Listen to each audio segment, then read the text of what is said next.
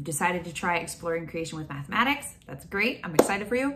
And now you're trying to sort out which level is right for your child. I get this question a lot, so let me give you as much help as I can. First things first, exploring creation with mathematics is leveled in a way that is very simple. So the level corresponds with the grade. So level five is a traditional fifth grade year of math, and that's how it works for level one, level two, just so you know that. Most kids take one year to complete one level. Also, I designed the program to be pretty much on grade level. I didn't want to make it more advanced. It's not remedial. I try to keep it true to that level. And then I thought you as a parent can decide if your child should be moved up or moved down to review, that type of thing. Okay, but that is how it is leveled. All right, now, um, a lot of you are switching in from other programs. And first of all, I really appreciate that you're checking out Apologia Math and that you're thinking about it. So thank you. Also, you should know that of course, we designed the program to build level one, level two, level three, level four, level five, but we also took into account that there would be families that would jump in midstream. So we thought about you, we planned for you. So I just don't want you to be overly concerned about changing things up. We're glad you're here. How do you pick the right level? Well, the first thing you should do is go to Apologia's website and check out the placement guide that they created. I have it linked below as well. It's the best place to start. We list what's covered in each level, and you, as the parent, can assess does your child know that skill? Are they confident in that skill? And it lets you see it all laid out. Sometimes parents even compare that with other programs if they're debating between two different programs, that type of thing. It's just a great bird's eye view. So that's the placement guide. The other thing that I would recommend you check out is I have made video overviews of all the levels. So some parents find that helpful as well to watch a flip through and just kind of see it right, to really see inside the book and get a sense of what the year would look like. In addition to my flip throughs, I'm gonna link some other people's flip throughs because some of these are just fabulous. They did a great job. And so you can go watch somebody else's flip through. And maybe you'd rather watch somebody else than me, the author. I totally respect that.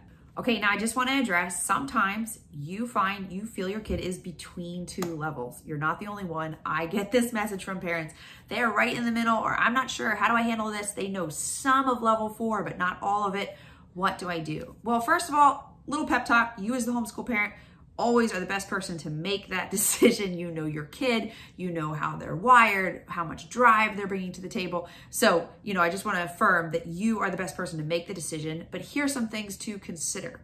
One, and this is just my opinion, if your child knows more than 50% of what is covered in a level, definitely consider bumping them up. I'm not saying all the time, but I think sometimes as parents, we are very hesitant to push a kid up because we're worried they'll miss something. And what can happen is they can get bored and it's a very long year and they actually don't learn as much as they could, not just because they weren't on the higher level, but because there was so much of a lack of challenge that they weren't very motivated. So just be careful about being overly careful.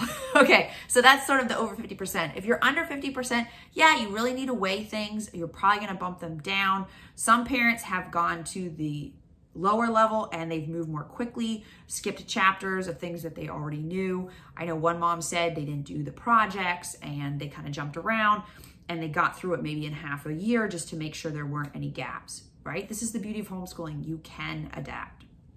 If you do jump up, one thing to consider is how you're going to fill in gaps.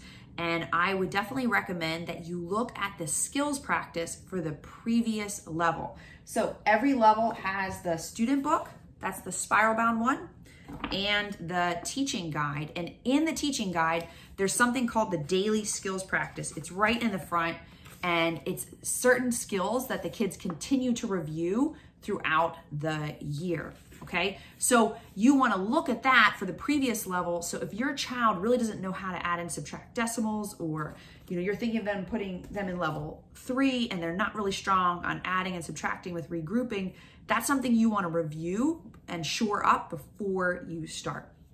The levels do overlap to some degree, but that's just me trying to position you for success. I'm gonna link up, I actually made videos for the skills practice for each level. So you can click on those and go see kind of what was in the level without having to buy it. So those are my thoughts. Please feel free to comment, send in questions. I hope that is helpful. And thanks so much for choosing Apologia Math.